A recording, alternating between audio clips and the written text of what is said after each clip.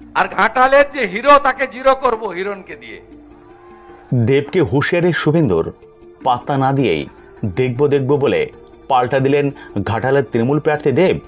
বিস্তারিত দেখুন, শনিবার পাঁচ কোটি সভা থেকে দেবের উদ্দেশ্যে ইঙ্গিতপূর্ণ মন্তব্য শোনা গেল শুভেন্দু অধিকারীর গলায়। বললেন, ঘাটালের হিরোকে জিরো করব, তেইশ তারিখ এমন জিনিস আমি ছাড়বো, আর ঘর থেকেই ওদিন বেরোবে না। যদিও এতে গুরুত্ব দিতে নারাজ দেব। পাশাপাশি ভাইরাল অডিও বিতর্কে এদিন হুঁশিয়ারি সুর শোনা গেল দেবের গলায়। দেবকে পাল্টা আক্রমণে নেমেছে হিরণও। ঘাটালের বিজেপি প্রার্থী হিরণ চট্টোপাধ্যায় শেয়ার করা ভাইরাল অডিও ক্লিপ ঘিরে যখন ভোটের আগে তোলপাড় রাজ্য রাজনীতি, ঠিক তখনই ইঙ্গিতপূর্ণ মন্তব্য শোনা গেল বিরোধী দলনেতা শুভেন্দু অধিকারীর গলায়। পাঁচ কোটির সভা থেকে শুভেন্দু অধিকারী বলেন, বিরাট নেতা বাপ রে বাপ। চারটা পেটে ঘুষি মারলে একটা এবিসিডি বেরাবে না। বিরাট নেতা। পুলিশ বাবা পার করেগা। মামলা আর হামলা। সবাই প্রস্তুত তো?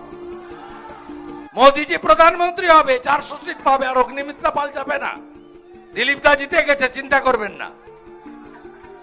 দিলীপ দা ফাইটার আমাদের। ওই সিটটা একটু টাইটাই ছিল, তাই কেন্দ্রীয় নেতৃত্ব দিলীপ দাকে পাঠিয়েছে বর্ধমান দুর্গাপুরে। ও ছক্কা মেরে দিয়েছে। এক লক্ষ ভোটে জিতবে। দেবেন তো? আমি ওদিকে ফাঁকা করে দিয়েছি, কাঁথি তমলুক। আর ঘাটালের যে হিরো, তাকে জিরো করব হিরণকে দিয়ে।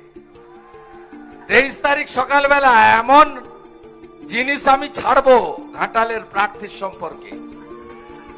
আর ঘর থেকে ওই দিন বেরাবে না। তেইশ তারিখ সকালবেলা ফলো করবেন।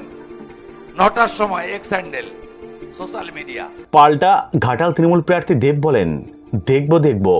শুধু আমি না, বাংলা দেখবে। দেখা যাক, এটা ভোটে জেতার রাজনীতি, চমকানো, ধমকানোর রাজনীতি, এবং আমি এটাতে ঊর্ধ্বে হয়ে গেছি।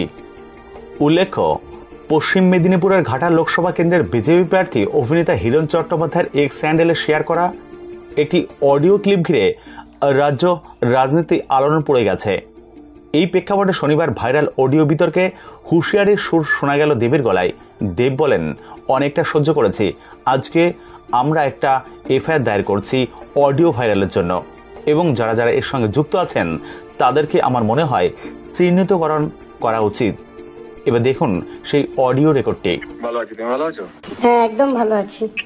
দাদা দাদা একটা ছোট্ট ইস্যু ছিল। বাট সেই ইস্যুটা সলভ হচ্ছে না বলেই বাধ্য হলাম তোমাকে ফোন করতে। ইস্যুটা হলো যে রাম আমার কাছ থেকে একটা টাকা নিয়েছিল ন লাখ টাকা। এবং সেটা আমি সায়ন্তনকেও বলেছিলাম যে সায়ন্তন ও টাকাটা নিয়েছে চাকরি দেওয়ার জন্য না চাকরি দিচ্ছে না টাকা দিচ্ছে? তো সায়ন্তনও ওকে বলেছিল রামকে। তো তারপরে কিছু রেজাল্ট এলো না। দেখো দেবদা একটা কথা বলি। আমার কোনো পলিটিক্যাল মোটিভেশন নেই আমি কোনো পলিটিক্যাল এবারে সেইটা হলো আমি তখন ফোনটা অ্যাড্রেসও করলাম তখন কথা যখন বলছি ডেফিনেটলি আমি একটু গুরুত্ব দিচ্ছি। ঠিক। আর আমার ব্যাপার একটু জেনে নেবে দাদা যে আমার কোনো আমি কোনো পলিটিক্যাল মুভমেন্টে কোনোভাবে ডাইরেক্ট ইনডাইরেক্ট কোনোভাবে জড়াইছি না। এটা আমার অভ্যেস। আমি করে খাই বুঝে গেলাম এবারে আমি আমার মতো করে কাজটা রামকে যদি জিজ্ঞেস করব তখন সুযোগ পাবো anything comes out will let you know ঠিক আছে? প্রসঙ্গত পঁচিশে মে ষষ্ঠ দফায় ভোট হবে ঘাটাল লোকসভা কেন্দ্রে।